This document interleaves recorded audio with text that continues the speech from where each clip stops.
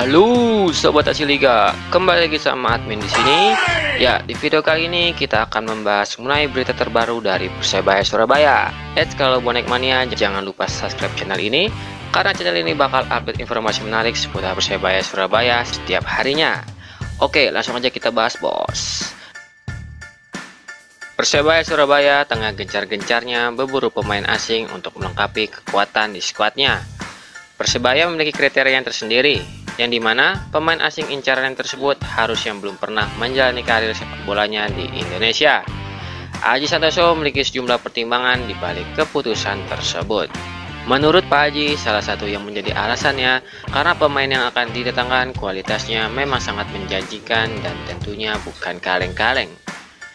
Selain itu, Aji Santoso juga yakin pemain yang belum pernah bermain di Indonesia pasti memiliki motivasi yang lebih ketika bermain di Persebaya Surabaya, apalagi setelah melihat aksi supporternya, yaitu Bonek Mania. Dan terbukti, kali ini Persebaya Surabaya sudah mendatangkan pemain asingnya, yaitu Taisei Marukawa. Dan kini dikabarkan Persebaya Surabaya akan segera meresmikan kembali ketiga pemain barunya. Oke, langsung aja kita bahas, bos. Oke, yang pertama ada Josh Wilson. Pemain satu ini dikabarkan sudah tiba di Indonesia pada hari ini dan dikabarkan Josh Wilson akan melakukan karantina terlebih dulu di Jakarta dan setelah itu akan terbang ke Surabaya untuk menandatangani kontrak bersama tim yang berjuluk Bajul Ijo tersebut. Sedangkan untuk statistik keseluruhannya, pemain ini sudah menjalani pertandingan sebanyak 45 pertandingan dan mampu menciptakan 10 gol serta 7 assist selama pertandingan yang dijalaninya. Sebelumnya pemain tersebut bermain Liga Malta bersama Hibernians FC.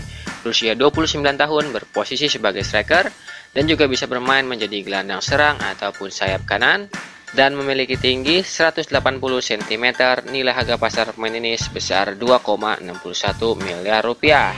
Lanjut yang kedua ada gelandang muda incaran Persebaya Surabaya yaitu Bruno Morera.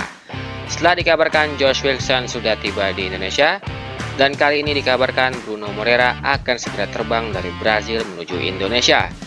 Pemain satu ini diyakini akan menjadi pemain selanjutnya yang akan diresmikan oleh Persebaya Surabaya.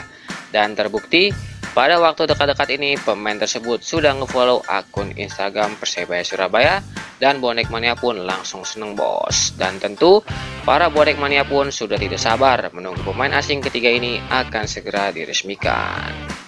Sedangkan untuk statistik keseluruhannya, pemain ini sudah menjalani pertandingan sebanyak 36 pertandingan dan mampu menciptakan 5 gol serta satu assist selama pertandingan yang dijalaninya. Saat ini pemain tersebut bermain Liga Kolombia bersama Envigado FC, berusia 22 tahun, berposisi sebagai gelandang serang dan juga bisa bermain di gelandang kiri dan memiliki tinggi 178 cm nilai harga pasar main ini sebesar 4,35 miliar rupiah. Dan yang terakhir ada back tangguh incaran Persebaya Surabaya yaitu Ali Sesai. Setelah mendapatkan kabar Josh Wilson dan Bruno Moreira akan segera bergabung dengan Persebaya dan kini terdapat kabar terbaru mengenai back asing incaran Persebaya Surabaya. Pasalnya, pemain satu ini pada baru-baru ini sudah ngefollow akun Instagram milik Persebaya Surabaya dan diyakini pemain tersebut dalam waktu dekat ini akan segera merapat ke Persebaya Surabaya.